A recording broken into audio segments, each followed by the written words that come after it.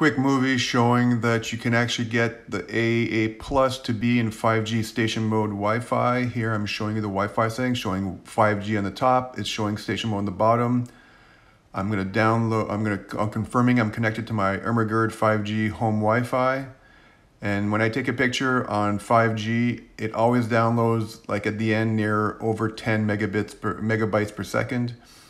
Uh, as you can see, uh, you're gonna see this near the end. If I'm in 2.4G, I'm maxing out at five, maybe six if I'm lucky. Uh, I take several test shots here and you'll see that at the end, you know, you can see one was like 12.9 megabytes per second, not megabits.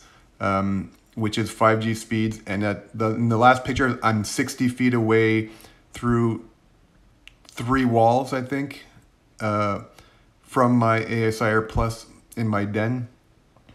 So it's a bug. Uh, you, I don't know how to get it in this state, but I've had it in this state several times now.